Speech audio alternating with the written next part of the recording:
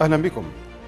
ما تداعيات مصادرة السلطات الحكومية في العراق آلاف الدونمات الزراعية في مناطق شرقي اللطيفية تحت غطاء الدولة وباسم القانون ما يهدد نحو ألفي عائلة بالتهجير القسري حيث إنها ليست الحملة الوحيدة فقد سبقتها حملات كثيرة للتهجير في مناطق حزام بغداد فضلا عن تدمير الزراعة فيها إذ يرى مراقبون أن هذه المصادرة للأراضي الزراعية في حزام بغداد تأتي في إطار مشروع متكامل لتغيير تركيبة العراق السكانية لخدمة المصالح الإيرانية. نضع تحت الضوء مشاهدينا الكرام هذه القضية لاستشراف تداعياتها والوقوف على أسبابها ودوافعها وتأثيرها وانعكاساتها على الواقع العراقي. نشاهد بداية هذا التقرير.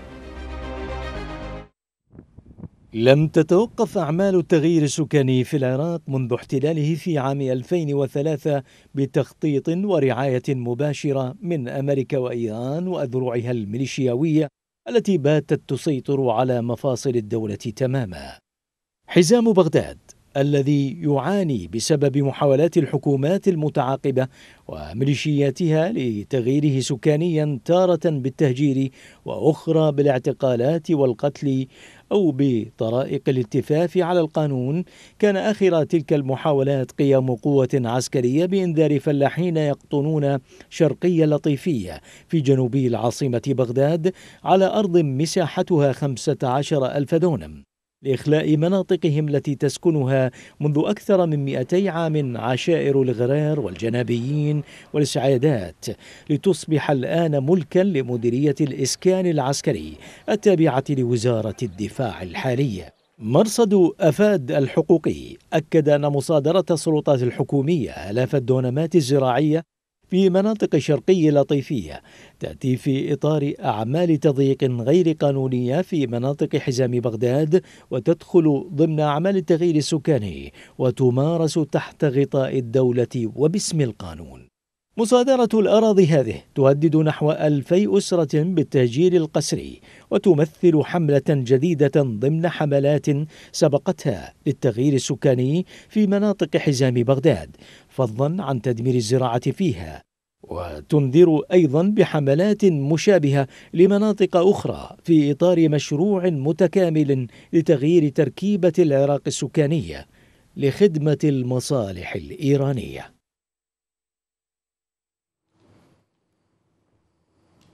أرحب بضيوفي الكرام في هذه الحلقة ضيفي في الأستوديو الأستاذ حسين السبعاوي الكاتب والباحث السياسي. مرحبا بك أستاذ حسين. أهلا وسهلا بكم حياكم الله. وأيضا الأستاذ عبد القادر النايل الكاتب والمحلل السياسي انضم معنا عبر سكايب من عمان. أستاذ عبد القادر مرحبا بك. أهلا وسهلا بكم. أيضا أرحب بالأستاذ عثمان المختار الصحفي العراقي عبر الهاتف من الدوحة. أستاذ عثمان مرحبا بك. حياكم الله أخي أهلا وسهلا بكم ضيوفي الكرام. أبدأ معك أستاذ حسين السبعاوي. أستاذ حسين السبعاوي يعني قيام قوة عسكرية بإنذار فلاحين في اللطيفية جنوبي بغداد هذه آه، المناطق آه، نحو 15 ألف دونم زراعي آه، تتم مصادرته وتحويله إلى مناطق سكنية لمنتسبي وزارة الدفاع وتهجير نحو 200 عائلة. هم مهددون الآن بالتهجير. يعني هذه المصادرة وعمليات التهجير القسري كيف تنظر إليها وما هي الدوافع من وجهة نظرك؟ يعني أنا أعتقد هذا القرار هو يراد له تغيير ديموغرافي بس بطريقة مقننة. يعني هذه منطقة حزام بغداد هي مستهدفة من 2003 وإلى الآن. بمعنى هي هي ضمن مشروع التغيير الديموغرافي. هي هدف ما بعد الاحتلال أصبحت. وتكلم عنها سياسيين كثير في العراق أنه منطقة حزام بغداد هذه مستهدفة. أما آه، سبب آه، آه، تحويل هذه الأراضي من أراضي زراعية إلى أراضي سكن طبعا بأي دولة من دول العالم لا يمكن أن يكون هذا القرار وبهذه السرعة لأن هناك وزارة الزراعة وهنا وزارة الدفاع تغيير هذه الأراضي الأراضي هذه هي ضمن إصلاح الزراعي الذي يعني استثمرها الفلاحين هم ليسوا حديثي عهد في عقودهم الزراعية كما استخدم في بعض مناطق أخرى أنه فسخ العقود الزراعية واستبدالها. هذا لا يمكن لكن هو هناك هدف واحد هو تهجير قسري لهؤلاء السكان تغيير ديموغرافي. لكن هذه المرة بطريقة مقننة ليس بطريقة أمنية لا دواعش ولا آه، يعني قاعدة ولا آه، هم يحذرون من هذه باستخدام القانون. باستخدام القانون. ولكن كيف استخدام القانون؟ بطريقة يعني مجحفة استهداف هؤلاء السكان. هل حدث مثل هذا الأمر في مناطق أخرى؟ جواب لا لا يمكن. ولا يستطيعون. لأن هؤلاء الناس ساكنين في هذه المنطقة منذ مئات السنين. ومنطقة زراعية مثبتة. إذا لماذا تحديدا اللطيفية أو حزام بغداد؟ هناك الكثير من المناطق يعني آه، ضمن حزام بغداد أيضا شرق بغداد آه، يعني نعم على حزام بغداد يعني جنوب بغداد وشمال بغداد وشرق بغداد كلها مستهدفة لكن كل واحدة لها آلية وأسلوب جديد أو تختلف عن الأخرى. الطارمية مستهدفة بسبب وجود داعش و كل يوم يظهرون لنا آه، بعملية سواء مفبركة أم حقيقية. منطقة شرق آه، بغداد اللي مرتبطة بديالة انتهت على بكرة أبيها. جنوب بغداد جرف الصخر انتهت والآن على منطقة اللطيفية والمحمودية. هذه المناطق هي حزام بغداد ليست حديثة عهد ولا هم آه، يعني آه، يعني ساكنين حديث في المنطقة ولم يأتوا من المناطق ولادة وأب وجدهم في هذه المناطق. وهذه الأراضي الزراعية استملكوها من الدولة بعقود زراعية مثبتة ضمن عملية قانون إصلاح الزراعي العراقي. والقانون إصلاح الزراعي العراقي ليس في عهد النظام السابق ما قبل عهد النظام السابق. وقبل العهد الجمهوري قانون اصلاح الزراعي. فالقصة هي مستهدف هذه المناطق ولكن مرة يستهدفونها من خلال آه، بطريقة مقننة مثل ما ذكر أنه تحويلها إلى أراضي سكنية للضباط ومنطقة مرة يتكلمون عنها في وجود آه، آه، مشاكل أمنية ومرة يستخدمونها في فسخ العقود الزراعية. فسخ العقود الزراعية. طيب هو إذا إنسان مهجر كيف يزرع الأرض مالته؟ نعم. أه، سأعود إليك مرة أخرى أستاذ حسين ابقى معي لو سمحت. الأستاذ عبد القادر النايل الكاتب والمحلل السياسي عبر سكايب من عمان. أستاذ عبد القادر يعني عمليات التهجير القسري هي ليست أه، خلال هذه المرحلة ابتدأت منذ احتلال العراق عام 2003 أه، كيف تنظر إلى مصادرة الأراضي الزراعية وتهديد العوائل التي تسكنها وتهديد يعني مئات العوائل؟ وهناك مئات الآلاف من الدنومات الزراعية سواء كانت بالحرق أو سواء كانت بتهجير أهلها تحديدا في مناطق حزام بغداد. أسعد الله مساءكم ومساء مشاهديكم الكرام وضيوفك الأعزاء. من المعلوم تماما أن التهجير القسري والتغيير الديمغرافي هو منهج حكومي في العراق منذ 2003 نعم. وبالتالي منفذ على عدة مراحل. هذه المراحل يفيد منها أنها يتم تحقيق الهدف الأساسي من خلال العملية السياسية الحالية. وبالتالي ما رأيناه هو عملية تكشير أنياب الحكومة الحالية والسلطات الحكومية بعدما استنفدت جميع الوسائل في عمليات التهجير القسري وعمليات التغيير الديمغرافي التي سبقت هذه المراحل. هناك مراحل عدة مر بها العراق ومرت بها هذه المناطق من خلال إطلاق يد الميليشيات والقتل والاغتيالات من خلال الاستيلاء على المنازل من خلال الاعتقالات ودفع الفدية والتوقيع على التنازل عن منازلهم من أجل إطلاق سراح ذويهم والهجرة خارج العراق وبالتالي تنوعت هذه إلى أن وصلت أن الحلول آه، في عمليات التهجير القسرية والتغيير الديمغرافي قد استنفدت لدى الحكومة وبالتالي بدأت تستخدم آلياتها من خلال أنها تذهب بمصادرة الأراضي بحجج واهية لا قيمة لها أمام حتى القانون الذي يتحاكمون إليه. وبالتالي إذا ما نظرنا أن عملية التغيير الديمغرافي استهدفت المكون السني في العراق بطريقة بشعة وبطريقة فاحشة إجرامية نفذتها الأحزاب السياسية. وللأسف الشديد أنه الذين يدعون تمثيل هذه المناطق من الأحزاب الممثلة أو المحسوبة على المكون السني هم أداة التنفيذ. ولذلك حقيقة حتى يتم إقناع الرأي الدولي بأن ما يجري هو ليست عمليات استهدافات طائفية تجري في اللطيفية وغيرها لأنه على سبيل المثال ما يجرى في اللطيفية هو في توقيع وزير دفاع محسوب من أهالي صلاح الدين محسوب على المكون السني. إذا للرأي الدولي أن من أجرى عملية مصادرة الأراضي هو شخصية يمثل هذا تلك سكان تلك المناطق. لذلك هم يبحثون باتجاه تنفيذ الإرادة التي أوصلتهم إلى السلطة وهي التغيير الديمغرافي الكامل. وحزام بغداد كما معلوم يعني واضح ومعلوم أنه كان هدفا لمسرحيات كبيرة جرت عليه وتصريحات واضحة ونوايا معلنة للأحزاب السياسية وميليشياتها أنهم ينبغي أن آه، آه، يتم الاستيلاء على كل هذه المناطق ويهجرون لأن جميع بغداد محاطة بحزامها وبالتالي هم آه، يعلمون تماما أن السكان الأصليين لبغداد الذين هم حقيقة يمتدون لعشرات بل مئات السنين هم راسخون وجذورهم قوية لأنه بدليل انه كل المؤامرات التي جرى تنفيذها عليهم لم يجري عملية انتزاعهم من من محيطهم ومن حزامهم ومن سكنهم، لذلك يعني أحيلك بتصريحات باقر جبر صولاغ المعروف بباقر دريل أيام وزارة الداخلية بأنه كان يهدف إلى إنهاء حزام بغداد وإلى تهجير أهلها والاستيلاء وكان يصفهم بأنهم ليسوا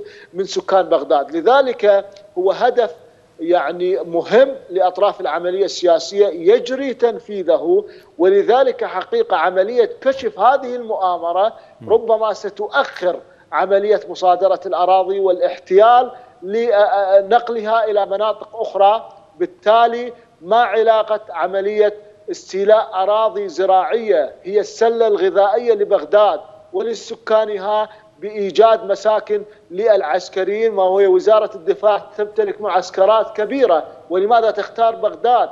اذا هو عملية نقل آه، يعني سكان من غير بغداد بحجة إسكان الضباط وعوائلهم وبالتالي هنا يبدأ حتى تغييرا ليس على مستوى المكون السني في في في بغداد إنما على مستوى تركيبة أهالي بغداد الحقيقيين. نعم. نعم ابقى معي أستاذ عبد القادر. آه، أستاذ عثمان المختار الصحفي العراقي انضم معنا عبر الهاتف من الدوحة.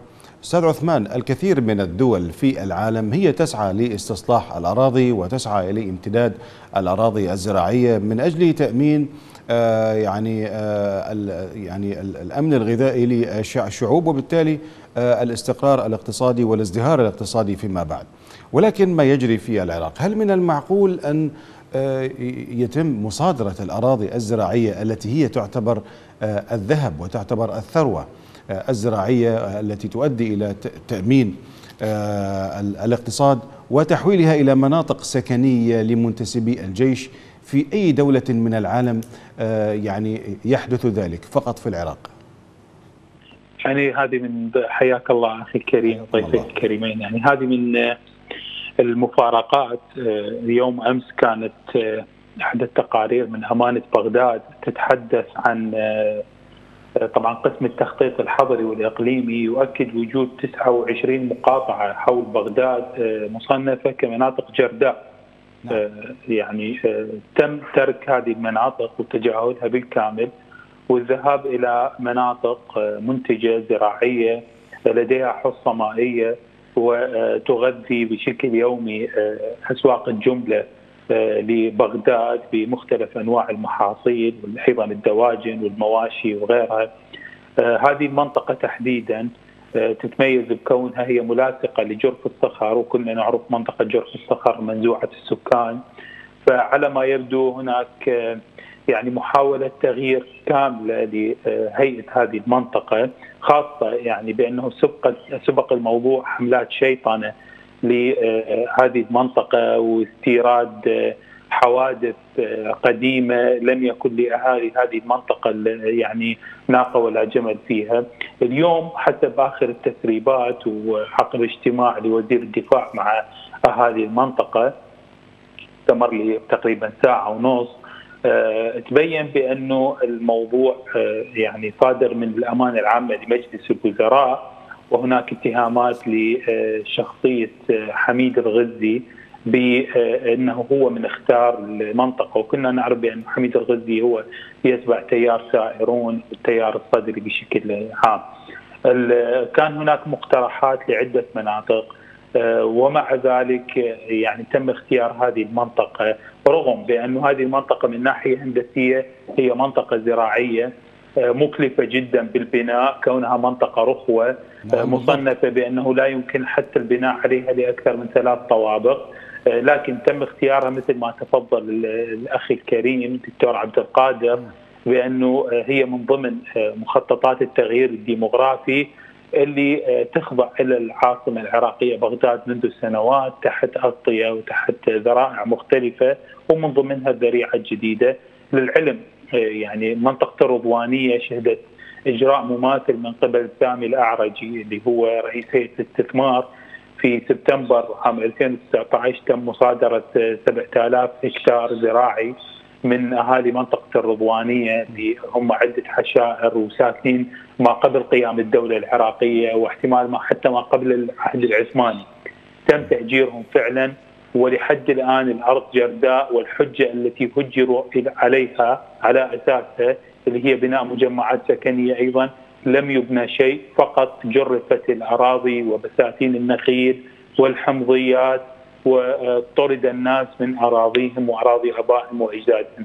المستغرب بأن الأمم المتحدة عبر بعثتها في العراق قبل أيام تحدثت عن الغطاء النباتي وتحدثت عن تصحر المناطق ظاهرة التصحر بالعراق بل وتدخلت حتى في مسألة سنجار يعني مسألة قرى سنجار وقالت يجب إثراء الغطاء الاخضر فيها لكنها تسكت عن مناطق ملطفة لأجواء العاصمة ورئ لبغداد آه، عن جرائم تجريف لآلاف الهكتارات فيها، هذه من ضمن النفاق يعني اعتبره من ضمن النفاق السياسي اللي انخرطت به الأمم المتحدة بالفترة الأخيرة. نعم. كل الدول آه، نعم أستاذ عثمان كل الدول يعني تسعى إلى التشجير إلى الزراعة إلى زيادة مساحة الأرض المزروعة إلى زيادة مساحة الأرض الخضراء من أجل تحسين آه، المناخ من أجل تلبية متطلبات آه، التخضير آه، الاخضرار الاقتصاد الأخضر الكثير من المفاهيم التي يعني تبنتها الأمم المتحدة. نلاحظ أن العراق دائما هو مخالف لكل هذه الأمور ولا يتم آه، يعني إصدار أي بيان من قبل الأمم المتحدة أو أي تقرير أو أي متابعة في حين نرى أن هذه المساحات المزروعة تتحول إلى مناطق سكنية لصالح الأحزاب في مرحلة ما. آه، ما هو موقف سنة السلطة من مصادرة أراضي آه، يسكنها آه، السنة في العراق في حزام بغداد وضرب اقتصاد العراق على هذا النحو يعني موقف سنة السلطة في العراق سابقا كان لا حول لهم ولا قوة. في بداية العملية السياسية أما الآن هم مشاركين فيما يجري مقابل مصالح شخصية. يعني عندما يكون وزير الدفاع من المكون السني ويكون نائب من المكون السني هو جزء من عملية التغيير الديمغرافي في منطقة اللطيفية فأصبحوا هم لا يختلفون عن الآخرين في عملية التغيير الديمغرافي لكن ها ها سنة السلطة مصالحهم شخصية الآخرين لا مصالح مصلحة المذهب والمكون ومصالح طائفية ومصالح إيران يقومون بها على أفضل وجه آه، ينفذونها على الساحة العراقية. هل هل يمكن تسميتها مصالح مذهبية وإنما هي مصالح حزبية؟ مصالح مذهبية وحزبية يعني هو هم يستخدم المذهب للمصلحة آه، آه، هذا هو اي نعم لا لا هو يستخدم المذهب للمصلحة الحزبية والمصالح الشخصية. أنا أعتقد أنه سنة العراق عموما أو الشعب العراقي بالعموم استهدف بعد 2003 بطريقة بشعة والأمم المتحدة هي جزء من المشكلة وليس جزء من الحل، لحد هذه اللحظة ممثلة الأمم المتحدة لم يصدر منها أي بيان ينصف الشعب العراقي وخاصة المكون السني على ما جرى عليه من تهجير واعتقال وإخفاء قسري وتغيير ديمغرافي، كل هذا هي غائبة في بيانات الممثله الامم المتحدة جينين بلاسخارت. هناك قصة قضية مهمة جدا يعني لدى الأمم المتحدة والحكومات العراقية أن تركز على المهجرين في القضية الإنسانية نعم القضية الإنسانية مهمة ولكن أنا أستطيع أن أقوم بها وأبسط مواطن يستطيع أن يقوم بها لكن تغيب القضية القانونية في قضية التهجير والتغيير الديمغرافي بمعنى أنه الذي يقوم بالتهجير والتغيير الديمغرافي والإخفاء القسري لن نجد ممارسة قانونية ضد هؤلاء بمعنى لا يوجد محاسبة لهم مشغولين فقط في القضية الإنسانية كيف نقدم الخدمات لهؤلاء المهجرين. طيب ولماذا لا نحاسب من هجرهم؟ هذا السؤال يتحول به الأستاذ عبد القادر النايل إذا سمحت لي أستاذ حسين. أستاذ عبد القادر النايل لماذا يعني آه، نظام المساءلة والمحاسبة غائب في العراق لمن يهجر الناس؟ قبل أن أجيبك على هذا السؤال أشار ضيف فاضل عثمان المختار إلى قضية آه، تجريف الرضوانية بحجة بناء وبالتالي لم يتم بناء شيء وهو ما سيكرر في اللطيفية. طبعا إذا آه، آه، ما أجل الموضوع أو لكنه هدف استراتيجي. لأنه هذا هذه القضية مهمة تماما. لماذا اللطيفية؟ اللطيفية لأنهم يريدون أن تكون هناك محافظة خاصة للحرس الثوري الإيراني. تمتد من جرف الصخر إلى اللطيفية إلى الطارمية إلى سامراء. هذه حقيقة تسمى بالمحافظة المقدسة. إدارتها بالكامل ستكون للإيرانيين والإدارة الفعلية ستكون لحزب الله اللبناني. ومعهم طبعا أطياف أخرى لأنه إذا ما أخذنا تجربة جرف الصخر لوجدنا أن فيها معسكرات خاصة للحوثيين، معسكرات خاصة للفاطميون، معسكرات خاصة للحرس الثوري الإيراني وبالتالي هناك عملية الميليشيات المحسوبه على العراق. لذلك هي هناك إدارة واضحة وإلى الآن تدار من قبل آه، آه، مجندين أو من قبل قيادات الحزب حزب الله اللبناني داخل جوف الصخر. بالتالي يتم عملية توسعة هذه المحافظة بهذا الإطار. وإلا فإنه حتى عملية إيهام بناء للضباط لن يحدث كما يحدث في الرضوانية. أما أنه آه، تغيب عملية المحاسبة لأنه من يعني أنا قصدت طبعا أستاذ عبد القادر أن الموضوع المحاسبة يعني أمميا هنا يعني بعد أن تتم الكارثة ويتم النزوح يتم آه، الحديث عن مساعدات للاجئين مساعدات للنازحين ولكن آه، لماذا يغيب نظام المساءلة والمحاسبة؟ لماذا لا يفعل أمميا؟ لماذا لا يفعل قانونيا؟ اولا لأنه آه، السلطات الحكومية وجميع مفاصل السلطات الأخرى القضائية والادعاء العام معطل باتجاه إقرار القوانين. وإلا فإنه من حق ذوي المتضررين أو العوائل المتضررة من هذا التجريف أن يتم آه، رفع قضايا على الدولة أو السلطات الحكومية الحالية في القضاء، لكن هل القضاء سيفتح أبوابه لهؤلاء؟ بالتأكيد كلا، لأنه لم يفتح أبوابه لأن أن تدلي بشهاداتهم عوائل المختطفين في الصقلاويه وهي جريمة جريمة يعني دولية.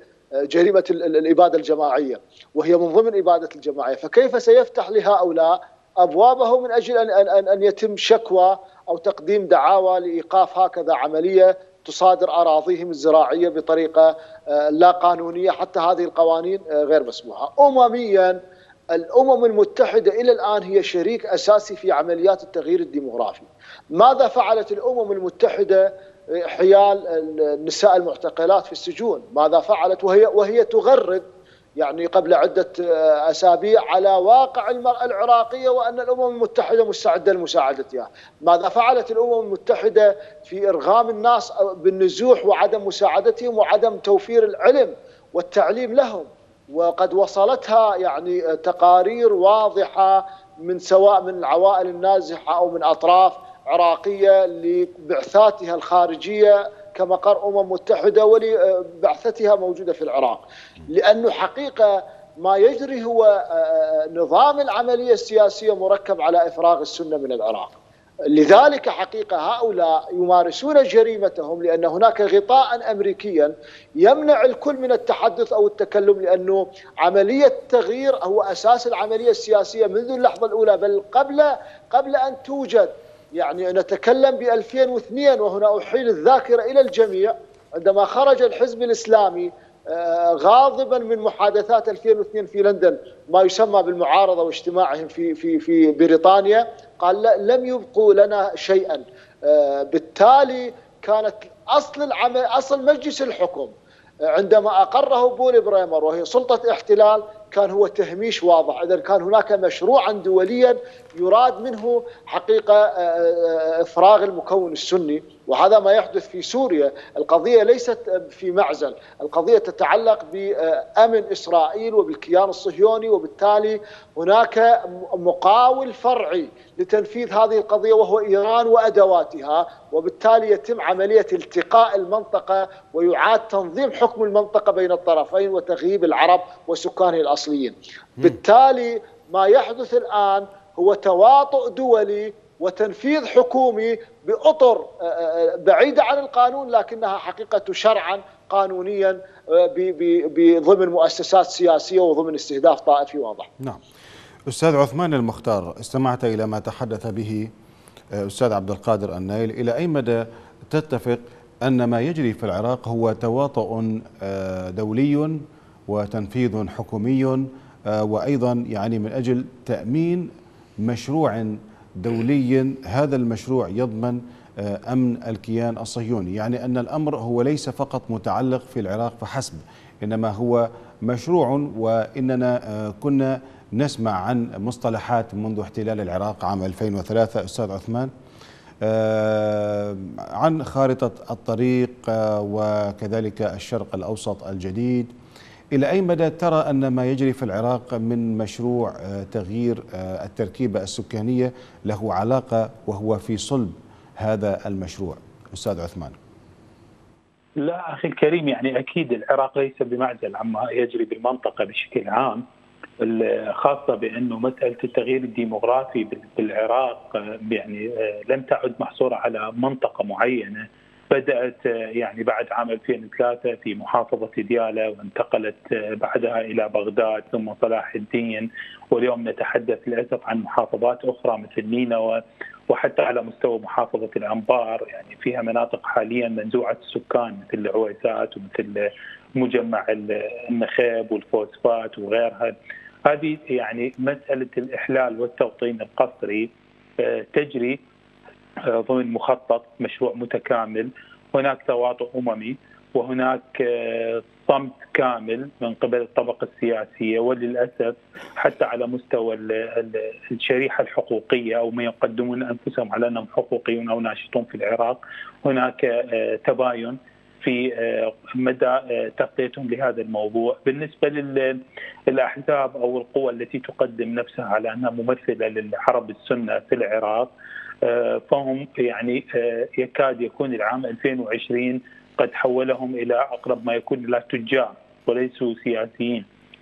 ازمه أساسا أزمة اللطيفية بعد التنقيب والبحث تبين أن شركة استولت على مناطق ضمن محرمات معسكر طارق شرق الفلوجة هذه الشركة تعود لي أو لديها ارتباط بسياسي سني نافذ تم تسوية الموضوع في سبيل عدم إنهاء عمل الشركة وإيقاف عملها بتعويض ارض معسكر طارق بمنطقة أخرى اللي هي طبعا بطبيعة الحال هي شرق اللطيفية. نعم. لذلك يعني ما مطلوب حاليا فيما يخص الورقة العراقية تحديدا يعني نحن نرى بأن هناك تركيز على الملف السوري بالفترة الأخيرة في نعم. هذه المسألة تحديدا في مناطق شمال شرق دمشق واللي هي دير الزور والبوكمال والحسكة، هناك فعلا حراك وتحذيرات وحتى على مستوى المنظمات الحقوقية يتحدثون عن التغيير الديموغرافي، لكن للأسف بالعراق هناك ضعف كبير جدا في تسليط الضوء عن جرائم كثيرة تحدث في مناطق يتم قضمها وسحقها ببطء نتحدث يعني لا نتحدث عن جرف الصخر أو يثرب أو السعديه لا نتحدث عن تقريبا أكثر من 270 قرية في نينوى وعشرات القرى في دياله وفي صلاح الدين إضافة إلى قصبات وبلدات عديده منذ خمس سنوات أهلها غير موجودين. اليوم يكشف النقاب عن مناطق في ذراع دجلة والثرثار. هذه مناطق محصورة ما بين الفلوجة وسامراء.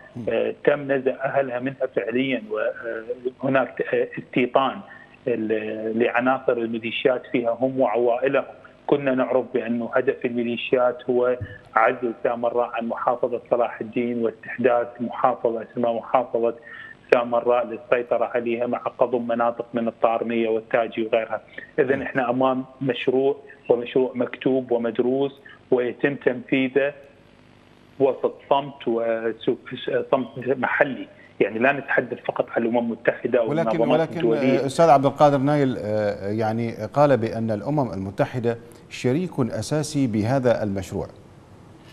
أكيد. يعني لما لما يكون الشخص مكلف بأمر ما ويتخذ يعني دور المتفرج سيكون شريك وشريك وليس شريك فقط تغطي يعني تماما مثل ما فعل الناتو يعني بال بقراره الأخير بزيادة بعثته في العراق وشموله فصائل ووحدات عسكرية هي أصلا متورطة بجرائم حرب مثل الشرطة الاتحادية. طيب طيب أستاذ عثمان. أعطاها شرعيه نعم. آه، ابقى معي لو سمحت سأعود إليك مرة أخرى. آه، اسمح لي في هذه النقطة أن أنتقل للأستاذ حسين السبعاوي. طبعا آه، هذا يدفعنا لجذور عملية التغيير الديمغرافي منذ احتلال العراق ما قبل احتلال العراق الحديث عن أن العراق عبارة عن أعراق وملل وطوائف والحديث عن أن العراق هو عبارة عن ثلاث دول الحديث عن ما بعد حرب الكويت وتحديد خطوط عرض من وإلى.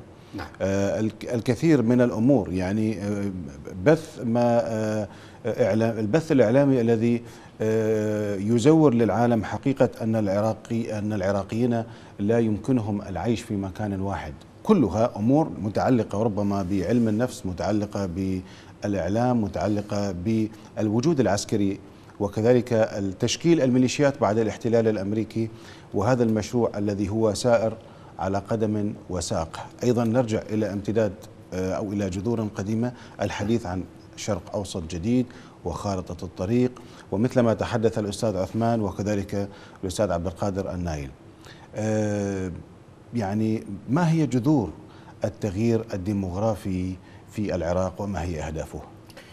يعني اولا إحنا أنا تكلمت أنت عنه العراقيين لا يمكن بسبب تنوعهم لا يمكن هذا العيش. هذا في الإعلام حتى في الإعلام, الغربي أنا أقول العكس نعم. العراقيين بسبب تنوعهم لا يمكن العيش منفصلين عن بعضهم البعض. بدأت عملية التغيير الديموغرافي تحديدا بداية 2003 ما قبلها لا يوجد تغيير ديموغرافي في العراق. في العهد الحكومات الوطنية الملكية والجمهورية لا يوجد. هناك عمليات بسيطة جدا لا يستحق ذكرها على قياسا على ما جرى بعد 2003 بعد 2003 الأمر مختلف وبدأ على شكل مراحل. 2003 استهدفت قلب بغداد. بدأت العملية في تغيير ديموغرافي في قلب بغداد باسم أتباع النظام السابق وموظفين ووزراء وإلى آخره. هو هجر أغلب هؤلاء الموظفين. 2004 بدأت في مدينة في محافظة البصرة. استهدفت السكان في منطقة الزبير وأبو الخصيب وفي داخل البصرة حي الكواز وحي الجزائر وهذه المناطق. طبعا المستهدف هم العرب السنة يعني نسمي الأشياء بمسمياتها استهداف التغيير ضمن لهؤلاء. 2006 بدأت أكبر عملية تغيير ديموغرافي بعد تفجير مرقد الإمامين العسكريين. الإمام علي الهادي والحسن العسكري في سامراء ومعلوم كيف تم التفجير وكانت هناك حظر تجوال والتفجير آه، تم بكمية كبيرة بطن كامل من المتفجرات. مع العلم منطقة حظر تجوال وشهادة آه، شهادة السكان بأنه كانت هناك حركة مريبة من قبل المغاوير الداخلية في عملية التفجير. وفي 2006 كانت الاحتلال متواجد ولم ينسحب. بعد التفجير بدأت عملية تهجير ديموغرافي كبيرة جدا. استهدفت منطقة سامراء تحديدا وأطراف بغداد وبدأت حرب بحجة اسمها حرب طائفية استهدفت من ضمنها أيضا مدينة ديالى.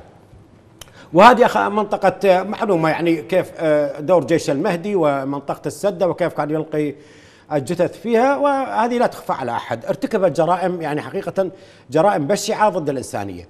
2009 بعد الانسحاب الأمريكي بدأت عملية تغيير ديموغرافي كبيرة جدا في مدينة دياله يعني البعض يرى أن دياله بدأت مت... لا لا. دياله بالانتخابات الأولى كان حصة المكون الشيعي مقعدين فقط. ما بعدها بعد عملية التغيير الديموغرافي أصبحوا أغلبية. 70% من سكان ديالى هم عرب السنة. الآن أصبحوا أقلية. بعد 2009 بدأت عملية كبيرة في تغيير ديموغرافي لديالى وثم استمرت ولحد الآن لحد هذه اللحظة مستمرة استهدفت منطقة كانت الخالص منطقة مختلطة آه، هجر السنة كامل. منطقة العظيم هجرت بالكامل منطقة المنصورية آه، قرى خانقين سعدية داخل مدينة ديالى حي المعلمين التحرير كل هذه المناطق هجرت بالكامل. وتصريحات كثيرة لمسؤولين سواء على مستوى محافظين ورؤساء مجالس المحافظة عن التغيير الديمغرافي الذي جرى في ديالى. بحيث وصلت في أحد المرات أنه مجلس محافظة ديالى يجتمع في منطقة كلر خارج ديالى خوفا من الميليشيات. وكانت أقلية الآن أصبحت أغلبية.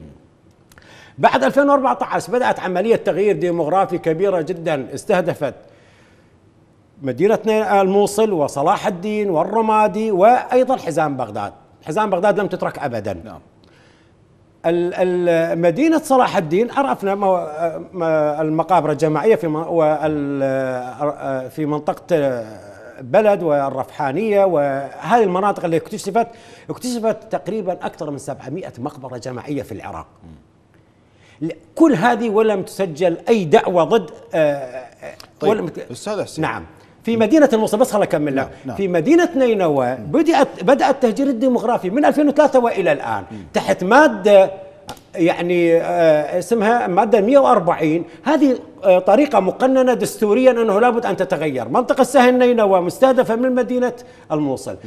لإيراد قطع هذه هذه المنطقة وتشكيل بها محافظة جديدة تشمل الأقليات من الشبك وال والمسيحيين وسنجار وإلى آخره. مدينة تل احفر أيضا يراد لها كانت نسبة المكون الشيعي 30% الآن أصبحوا أغلبية يراد تشكيل مدينة تركمانية بأغلبية شيعية في منطقة بمعنى مدينة نينوى يراد أن تكون ثلاث محافظات كلها تسلخ من آه من مدينة نينوى وهي ثاني أكبر مدينة بعد بغداد تعتبر أكبر مدينة في العراق ستتحول إلى ثالث أو رابع مدينة. طيب. آه، انتقل الأستاذ عبد القادر النايل، الاستاذ عبد القادر العراق احتل عام 2003 وهناك ميليشيات تشكلت بعد 2003 وهناك آه، مشروع نفذ مثلما آه، تفضلتم آه، مشروع التغيير الديمغرافي في العراق على يد الميليشيات وهناك مصالح إيرانية أيضا بحسب ما يرى الكثير من المراقبين في العراق يعني بالتشارك والتناغم مع الإرادة الأمريكية. ولكن هنا السؤال أستاذ عبد القادر ما هي المكاسب الأمريكية من عملية تغيير ديموغرافي في العراق. تماما إذا ما نظرنا أن الولايات المتحدة الأمريكية تنفذ أجندات للشرق الأوسط للسيطرة عليه وبالتالي تدمير العراق مهم لها في عملية السيطرة على كل المنطقة لأنه إذا ما قسنا أن جميع الاحتلالات التي مضت للشرق الأوسط تبدأ من بغداد وبالتالي كل وجهة المحتلين يستهدفون بغداد ثم ينتشرون للاستهداف لأن بغداد تمثل حقيقة مركزا جغرافيا مهما وأيضا مستوى سياسي كبير لأن الشعب العراقي شعب يعني جذوره عميقة في بلده منذ آه، آلاف السنين. لذلك أمريكا من هدفها الأساسي هو تدمير العراق. وهذا التدمير طبعا يخضع لمش... لمصلحة الكيان الصهيوني إذا ما أخذنا بنظر الاعتبار. هذه القضية. وبالتالي هناك يعني نبوءات واضحة في تمديد في عملية تمدد الكيان الصهيوني بدولته الحالية إلى العراق وهو يرفع شعار من النيل إلى إلى الفرات دولة إسرائيل الكبرى. لا يمكن أن يكون لهذه الدولة تحقيقات أساسية على أرض الواقع دون اقتلاع سكان هذه المناطق الذين هم آه، ربما آه، مرشحين أن تكون التوسع عليهم. وسكان هذه المناطق معلومين من المكون السني. لذلك مصلحة أمريكا تقتضي هو اقتلاع جذور السكان الأصليين. هذه من الناحية الاستراتيجية لتدمير العراق الذي جاءت به الولايات المتحدة. وبالتالي معلوم هو مشروع تدميري. يعني اليوم نتكلم عن عن أي شيء موجود في العراق. الولايات المتحدة لديها قدرة كبيرة على جميع المستويات التعليميه والصحية. ما الذي استنسخته للعراق؟ نعم. وما الذي فادت به العراق؟ كلها مؤسسات تدميرية. لذلك مشروع تدمير العراق هدف أساسي للولايات المتحدة. أما على مستوى إنه كيفية تحقق مشروع الشرق الأوسط الجديد ينبغي إذا تقسيم العراق وهو مشروع مرفوع إلى هذه اللحظة وقد أقروه فيما يسمى بالفدراليات داخل الدستور ووضعوا مناطق ملغمة فيه من خلال الماده 140 الذي أشار بها ضيفك الكريم الأستاذ حسين على أن مناطق متنازع عليها وهذه المناطق المتنازع عليها تفضي إلى حروب أهلية داخلية. ومنذ اللحظة الأولى للتدمير الداخلي هم عزفوا على الوتر الطائفي. ودفعوا باتجاه آه، التغطية على الميليشيات ودعمها من اتجاه الضغط للحروب الأهلية. هم فشلوا لكن تحققت نسب معينة لهم بهذا الإطار. فلذلك صمام الأمان في عملية إعادة نهوض العراق وإدامة وحدته هو المكون السني لأنه يتمسك بالعشائرية والعروبة مع المكون الشيعي ويتمسك بالسنية والمذهب مع المكون الكردي وبالتالي قادر إذا ما عيد للواجهة أن يتم إعادة تفاهم العراق بطريقة كبيرة يمكن أن يؤسس لمرحلة النهوض وهذا ما لا تريده الولايات المتحدة الأمريكية للعراق لأنه تريد بلدا مفككا بعيدا متناحرا داخليا وهذا التناحر يفضي إلى مشروع أكبر حتى من لبننة العراق. نعم أستاذ عبد القادر. أستاذ حسين بالتأكيد مصادرة الأراضي الزراعية وكذلك عمليات التغيير الديموغرافي لها انعكاساتها ولها آثارها على المشهد العراقي، على الواقع العراقي، على الاقتصاد العراقي، على دخل المواطن العراقي، على الضغوطات التي يتعرض لها آه، العراقيون. هنا يعني آه، آه، في هذا الموضوع تحديدا كيف تنظر إلى يعني ما يعانيه العراقيون مستقبلا لو تم تقليص سلة الغذاء للعراقيين وزيادة مساحات البناء وصارت هذه المساحات أو المناطق السكنية أكثر بكثير من هذه السلة الغذائية ليتم الاعتماد بعدها فقط على موضوع الاستيراد. يعني العراق وليس فيه أزمة أراضي سكنية حتى نذهب إلى الأراضي الزراعية وندمرها. العراق نعم بلد زراعي ولكن الكثافة السكانية فيه ليست بمستوى عالي لأنه حتى البناء العراقي ليس بناء عمودي بسبب مساحة الأرض اللي موجودة قياسا إلى تعداد السكاني اللي موجود البناء العراقي بناء أفقي. فاليوم أنت تأتي على الأراضي الزراعية لتجرفها تحولها أراضي آه، سكنية هذه هذه خطأ استراتيجي اليوم المساحات الأراضي السكانية هي لحد ذاتها غير مستخدمة. لماذا لا نسمع مثلا لماذا لا نسمع نعم. أوكي يعني لا مشكلة. في حال لو تحولت هذه الأراضي الزراعية إلى شيء له مردود اقتصادي مثلا نعم. معامل مصانع شركات تعمل شركات تنتج. ولكن الموضوع هو توزيع أراضي إلى منتسبين. يعني ما هو الناتج؟ يعني ما, ما هي الفائدة التي ستعود على الشعب العراقي؟ هذه قضية مقننة. هي ليست قضية المنتسبين ولا يراد خيرا للمنتسبين. يراد ضمن المشروع الديمغرافي ولكن كما ذكرت لك في البداية هو للتقنين المشروع الديمغرافي بحجة توزيع أراضي سكنية. العراق ليس لديه آه، أزمة في الأراضي السكنية. يستطيع أن أن يبدأ كما بقية الدول في البناء العمودي ويحل أكبر أزمة السكن إن كان لديه موجود. الأراضي الزراعية تجري الوظيفة وتدمير هؤلاء لا يحملون مشروعا وطنيا حتى يهتمون بالزراعة والصناعة هؤلاء أدوات لمشروع إيراني يستهدف الشعب العراقي ينفذون جرائم ضد الإنسانية خدمة للمشروع الإيراني برعاية أمريكية، اليوم علينا أن ندرك انه إيران كانت تحلم بدخول العراق بس مجرد تضع قدم على أطراف حدود العراق. اليوم لماذا تستهدف مناطق حزام بغداد ودياله وسامراء؟ المسافة من دياله إلى بغداد لا تساوي ساعة من الزمن في السيارة. فإيران تحلم بتجريف هذه المنطقة ووصول الإمدادات التي آه، آه، تقوم بها إيران ونقلها إلى حلفاء في المناطق الأخرى عن طريق سامراء ثم عن طريق الحضر وصولا إلى سوريا ولبنان هذه هذه مساحة تحلم بها إيران كل هذه المنطقة جرفت واختصرت الطريق بأقرب مسافة طريق بري وصولها إلى بغداد في جميع المناطق آه، حدودية مع العراق هي تحتاج إلى مئات الكيلومترات يعني تقريبا سواء من الكويت تحتاج إلى 200 300 كيلومتر من آه، منطقة العمارة وميسان آه، تحتاج 500 كيلومتر من منطقة البصرة تحتاج 650 700 كيلومتر بينما من ديالى إلى بغداد لا تساوي 100 كيلو 60 كيلومتر يا سيدي. هذه هذه تحلم بإيران. فبالتالي لابد أن يقننونها أنه توزيع أراضي سكنية فسخ عقود وجود قضايا أمنية آه، حل مشاكل آه، مختلطة بين السكان. كل هذا ما هو إلا لتحقيق هذا المشروع الذي تريده إيران برعاية أمريكية بأدوات عراقية تنفذ على حساب الشعب العراقي. هناك عمليات قتل حصلت في صلاح الدين لعوائل. هل تتوقع أن تكون هناك عمليات مشابهة أيضا في المستقبل؟ نعم هذا قضية مستمرة. يعني هو ليس قتل لأفراد يا سيدي. قتل لعائلة. ما نعم, نعم. نعم قتل لعائلة ومقابر جماعية وتباد مناطق على بكرة أبيها كما حصل في مناطق بلد والرفحانية. هذه هذه العائلة التي قتلت في فترة حظر تجوال كانت. نعم. كيف تقتل؟ وبملابس عسكرية وبسيارات تستخدم عسكرية. وسواء كانت داعش أو الميليشيات كلاهما مسؤولية الحكومة في مواجهة هذه التنظيمات الإرهابية.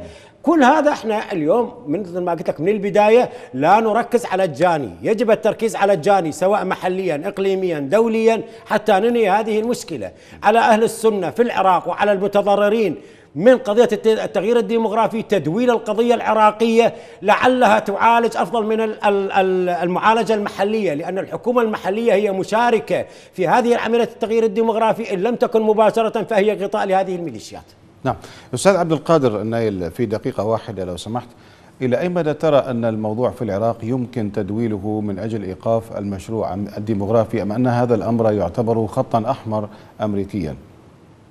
إلى هذه اللحظة هو خط أحمر أمريكي لكن هناك حقيقة متقلبات على الساحة على مستوى المنطقة سيعود نفعها على العراق وبالتالي المستهدفين للعراق سينهارون آه، نحتاج إلى صبر وإلى مطاولة حقيقية لأنه القادم سيكون لمصلحة الشعب العراقي وهنا أود أن أذكر على أنه قضية اللطيفيه أيضا تتعلق بجانب اقتصادي ربما أشرتم إليها بكلامكم نعم. أن الواقع الاقتصادي مهم تماما لبغداد إذا ما أعيدت اللطيفية إلى زراعة الأراضي فإنه لا يمكن للعراق أن يستورد خلال شهر آذار الماضي نصف مليار دولار مواد غذائية ومحاصيل زراعية، فلو كانت هناك حقيقة زراعة موجودة حقيقة في اللطيفية كفيت بغداد وربما المبلغ أصبح أقل بكثير وإيران لا تطمح إلى تقليل المبلغ إنما إلى زيادته وبالتالي هم يدفعون باتجاه الاستيلاء على الأراضي الزراعية من أجل أن يتم الاستيراد من المحاصل الزراعية من إيران وبالتالي تعتبر تكون إيران هي سلة الغذاء للعراق وليس العكس أن اللطيفية تكون هي سلة بغداد للأمن الغذائي نعم.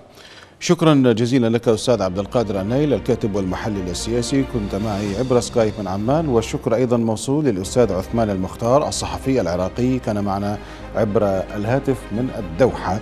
ونشكرك شكرا جزيلا أستاذ حسين سبعوي الكاتب والمحلل السياسي العراقي ضيفي في الاستوديو. في الختام مشاهدينا الكرام تقبلوا مني أطيب تحية وفي أمان الله.